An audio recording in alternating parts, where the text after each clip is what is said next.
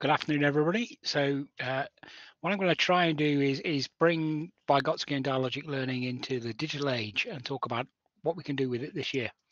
So um, the aims and intentions of the session, just basically make sure you understand, talk about how the theory helps us understand how making students, we can make students learn. Um, we're going to look at some research informed practice and we're going to have a quick look at some theory and then we're going to talk about how we can build it into practice. So I start everything with a, great hero of mine, Dylan Wiliam. Um, and this is a, a, a, table you'll see in his book, Embedding Formative Assessment. And I, it's my emboldening. So you think in a classroom, the teacher's job is to engineer effective classroom discussions, activities, and tasks that elicit evidence of learning. And I love that because it says effective classroom discussions. And if you're going to have a discussion, there's got to be something social going on. So we then go back to another great hero of mine, which is Lev Vygotsky. Anything in the slides, and you'll get the slides, um, gives you a link to um, one of my um, blogs in inspired.ideas.uk, um, which kind of outline some of these ideas. Um, they're only 500 words each, but if you want to pick up something in depth, in a bit more detail, they're there. Um, so Vygotsky, he's a, a Russian um, theorist, uh, died in 1936 from tuberculosis in Moscow. He was in the in Stalin's um, education department, and he had a very different view of Piaget's image. So Piaget believes individuals do things on their own. They they they they they're little scientists. They find stuff out on themselves. And Vygotsky says, no, on your own you'll find out nothing. You need to be in a social group. And he also sees that within the social group you need to be reacting with something, with uh, with other people or with tools. And I the thing I love about his idea of tools is that tools are real things like paper, pens, computers, but they're also symbolic things languages, math systems, signs. Um, and and that, for me, that's, that's something to just remember. He's he's talking about symbols all the time. So here are some words from him, a couple of quotes from his 19, uh, 1933 work quoted in the 1978 um, translation. It is through others that we become ourselves. So clearly he believes that all learning is social. Everything is, is, is happening with other people. And secondly, he says that what you can do in cooperation today, you can do alone tomorrow. So let's start by looking at probably one of his more important ideas, which is the idea that of social development. So he thinks that when you have social learning, so there needs to be some you're in a in a social situation, things start to be said, um, and you develop by that interaction that you've just experienced doing something inside you. So this is the link between the social learning and cognitive learning, and and and I, I don't. I, I I love social learning, but I do believe that all the cognition stuff is really interesting, and and it helps explain this theory. We can learn through lots of different communication methods. We can learn through writing and speech, obviously, but we mustn't forget culture. Um, we learn things through dance, through um, song, through the people that we meet, the things that our grandparents do. These are all ways in which we learn, and they're important things we learn that way. And if we can use some actual tools, we can develop those higher thinking skills instead of just the basic ones. And he comes up with a number of big ideas. So the first is social development. I've just covered that. The second is the idea of guided participation. Now, guided participation I've read all sorts of people's explanations of this, and they make it sound really complicated. But all guided participation is somebody showing somebody else how to do something. So if I know more about doing something, I show somebody how to do it, I am doing guided participation. If I do it for them, I'm not doing guided participation. So if you're ever watching a class and, and I, a teacher grabs the mouse and starts driving the computer, they stop teaching at the moment their hand touch the mouse.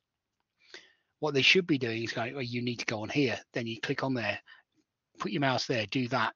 And that way they're guiding the participation of the individual and that social link between the two of them will help that person learn.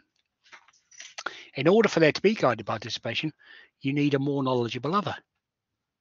Simply somebody who knows more about something than the other person.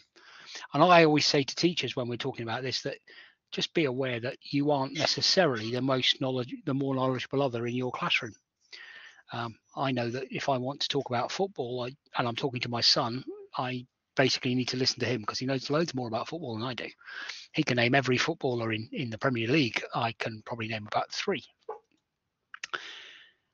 The next idea that, again, there's lots of rubbish written about and lots of very complicated descriptions It's about the zone of proximal development um, or as the Americans say, the ZPD, which I hate.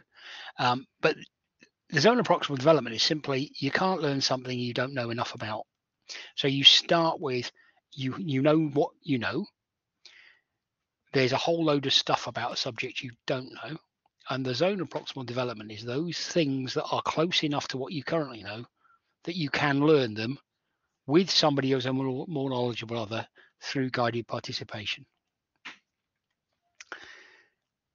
all that involves scaffolding. And if you read a book that says that Bruner invented scaffolding, um, the paper he did that in is 1979, which is actually one year after the the uh, the work of Vygotsky was translated.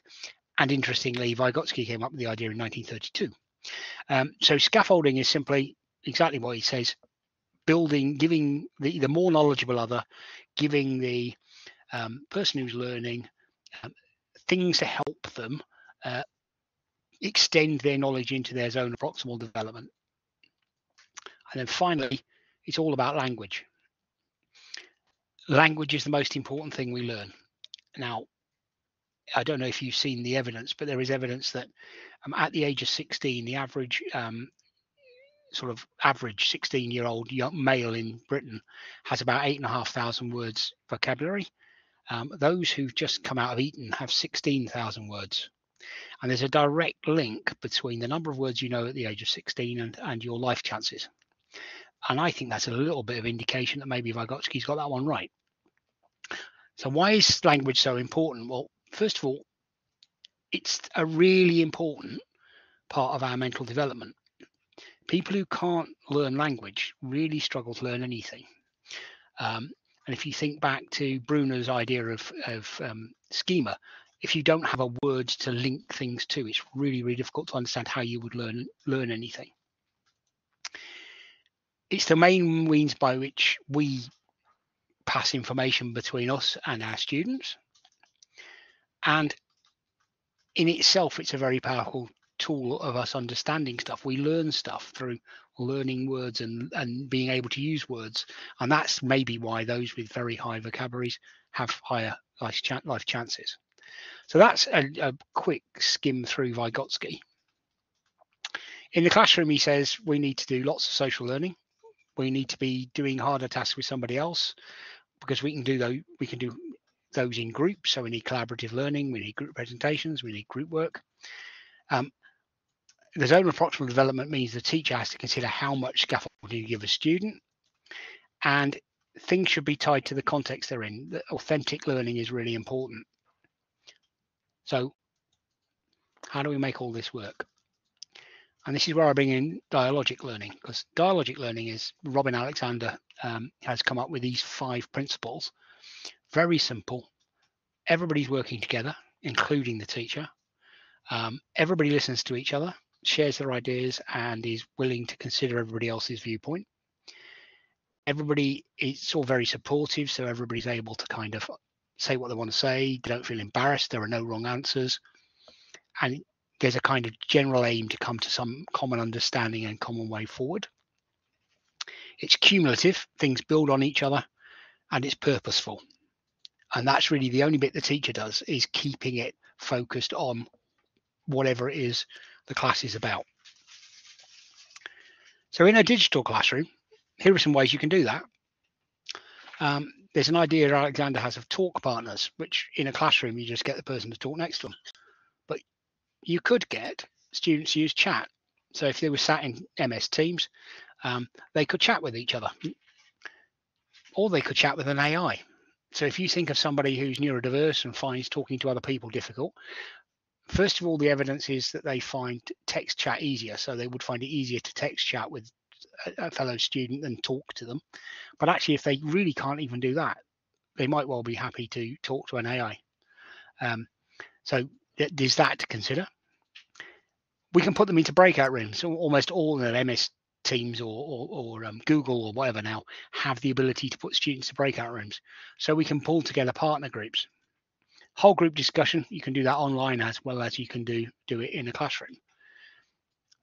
Teach, the, the, the, teacher thing about pose, pause, pounce, bounce works beautifully in a digital classroom.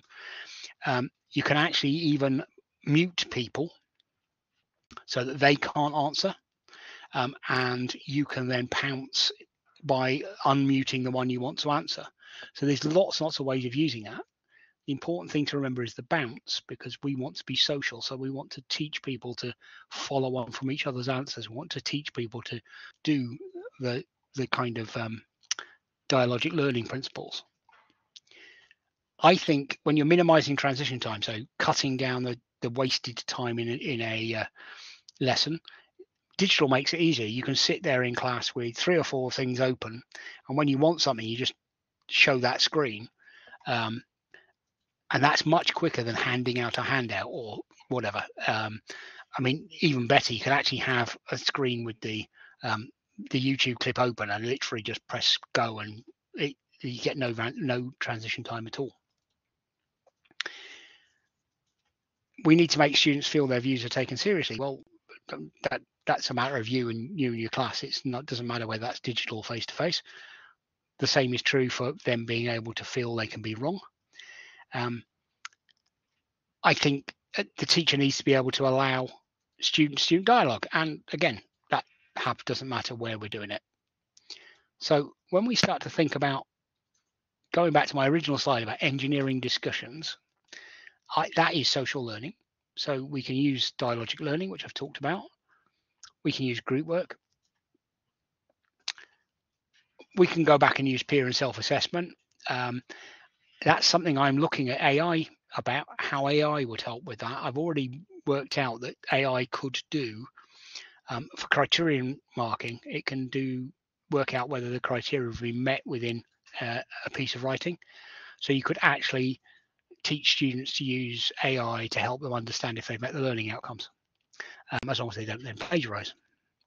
Um, pre-reading, well, that's incredibly easy digitally. Um, we can give them stuff to do. We can check they've done it. We can even make sure know how many students have looked at the video if we want. And then the whole thing about metacognition, actually teaching people to learn, teaching people to use the digital systems, um, all of that is very important, and we can do it digitally.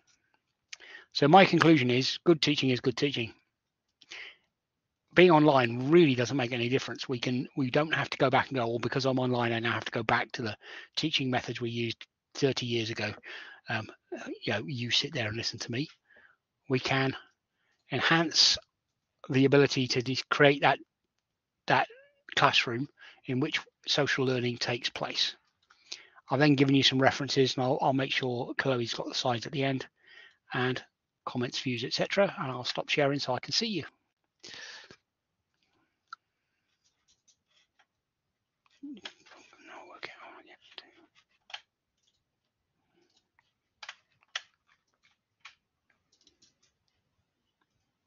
Oh, that's it, Chloe.